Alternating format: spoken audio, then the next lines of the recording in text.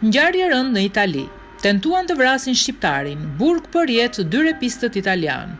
Dy reperë italianë të njohur si Emilio Finizio, tridhjetë e gjashtë vjeç, i njohur me emrin e artit Malakame dhe Juri Marxhini, kanë përfunduar në burg nën akuzën e tentativës së vrasjes.